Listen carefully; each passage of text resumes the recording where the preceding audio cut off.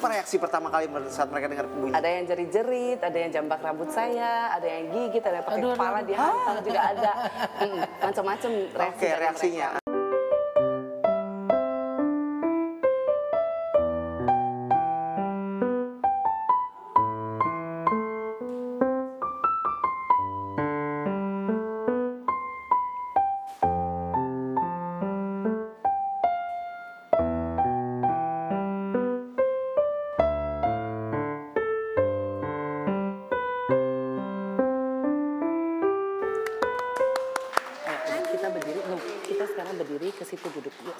Dua, tiga.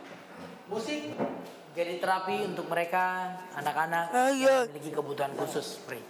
Betul, menjadikan tenang dan membantu berkomunikasi. Fanny sosok guru piano yang mendedikasikan dirinya untuk mengajari mereka dengan telaten, sabar, ya hingga anak-anak ini jadi Ya, iya, yang berkebutuhan musik khusus. dan bisa menggali potensi di bidang Iya. musik. Dan kali ini di episode Tompi dan Glenn eh, kita akan ditemani bersama dengan anak-anak pintar yang handal memainkan piano. Yes. Alright, Muhammad Ferhat. Muhammad Ferhat, oke please. Yeah. Halo. Salam. Hai Muhammad. Halo. Ya. Halo. Sini, sini, sini, sini, sini, sini, sini. Iya, iya, iya, itu keren. Itu, itu bagus. nanti, nanti. Bagus sekali. Nanti, nanti. Apa kabar? Apa kabar? Oh, aku baik. Kalau kamu? Mainnya bagus banget. Om Tompi aja dokter Tompi nggak bisa. Saya nggak bisa main piano. Saya main piano pasti saya main begini. Tos dulu dong, tos dulu dong. Hebat. Eh, Berapa berapa lama Muhammad belajar piano Iya. ini? Ada hampir dua tahun. Dua tahun. Dari yang nggak bisa sama Dari sekali. nggak bisa sama sekali. Jadi yang ngajarin Iya, ibu dari awal. Oh, wow. Jadi Dari pertama, dari dari awal sekali. hmm, dari eh, benar-benar nggak bisa main piano. Dia yang minta atau ibu yang nawarin? Orang tuanya minta ke saya. Oh gitu. Nah, jadi- Nggak, maksudnya memang udah ada ketertarikan dia untuk piano Eh, tadinya. Nggak tahu ya eh, orang tuanya yang menghubungin saya jadi eh, langsung kita langsung bikin appointment buat les gitu aja Oh, saya nggak gitu. tahu apakah memang dari Ferry-nya sendiri atau memang dari orang tua juga Kok bisa tertarik untuk mengajar anak-anak berkebutuhan khusus ini? Eh, tadinya enggak jadi Tadinya enggak? Tadinya enggak. Jadi saya biasanya ngajar memang eh, murid yang normal. Oke. Kemudian pada tahun 2003 itu ada salah seorang murid saya eh, kebetulan adiknya autism. Jadi orang tuanya minta saya untuk tolong bantuin. Saat itu anaknya masih usia 3 tahun. Jadi waktu itu saya juga masih awam sekali autism itu apa saya nggak ngerti. Saya bilang ya udah coba bawa aja deh. Jadi sosok tahu gitu.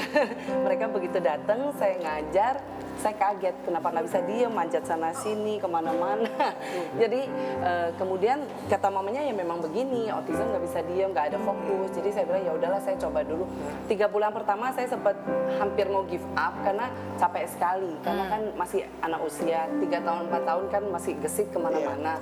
Terus mereka juga nggak bisa diem sampai satu menit aja nggak bisa bertahan. Jadi saya harus dari belakang merangkul atau Ah. pegangin gitu. Dan itu capek sekali. Gimana? Maksudnya men, men, mendistract mereka sampai akhirnya kena ke piano tuh gimana? dibekep. Jadi saya dari Dibekep belakang saya pegang belakang. yang Oh, yang kecil ah, ya, ah, yang kecil. kecil. Kalau Ah, dewasa nggak ah, bisa ah, dibekep ah. lagi. Jadi yang kecil saya pegang dari belakang, saya tahanin. Tapi mereka kadang juga bisa berontak karena Oke. kan merasa dikekang ya. Ah.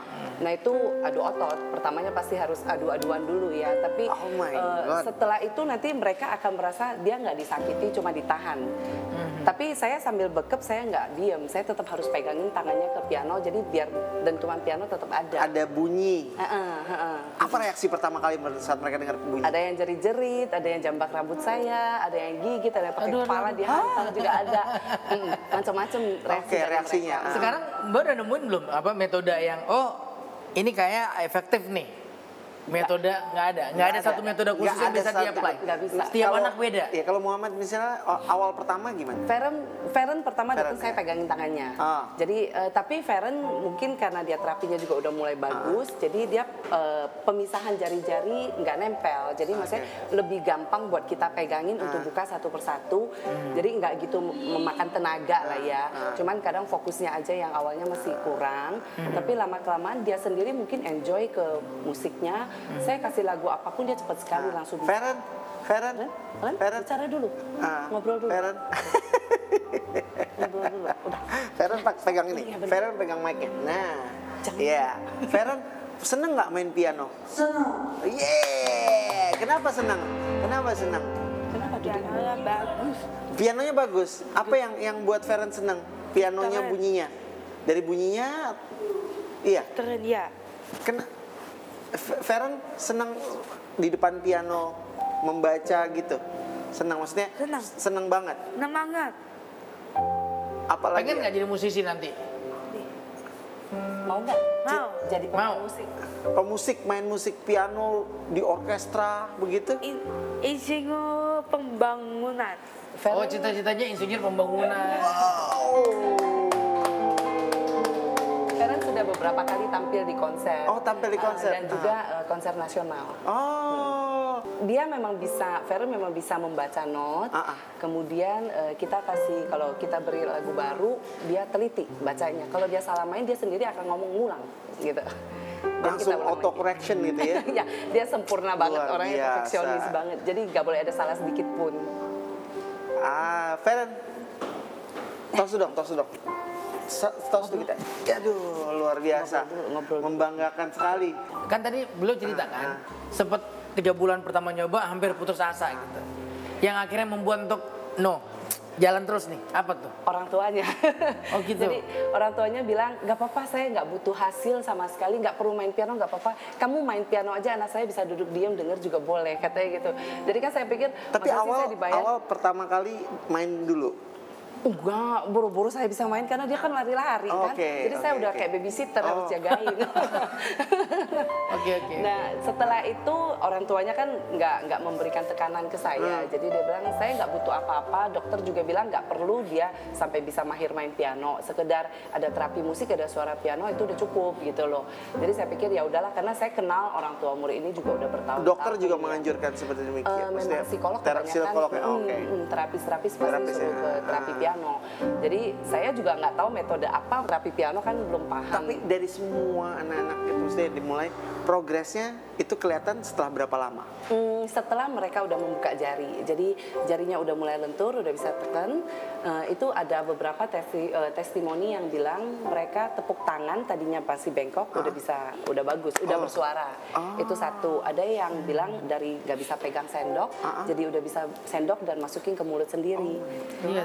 Iya. Karena dia udah mulai bisa mengorganize dirinya. Ya, ya benar. Heeh. Aduh, gue merinding loh bre, beneran maksudnya amazed gue nggak bisa ngebayangin how music gitu bisa mempengaruhi apa eh, reaksi. Kalau sekarang kalau di di institut musik itu malah ada satu jurusan khusus buat eh, Terapi. terapi, Iya, musik iya, ya. iya, terapi ya, iya ya, Ya. terapi musik Kita, dan saya pernah bicara dengan salah satu profesor musik. Beliau cerita bagaimana musik itu bisa menjadi alat terapi gitu. Tapi memang dalam prakteknya nggak segampang yang Iya, kita baca. ini- ini luar biasa sekali. Terutama yang berhubungan sama, Luar sama biasa kontak sekali. fisik ya. Hmm, Iya.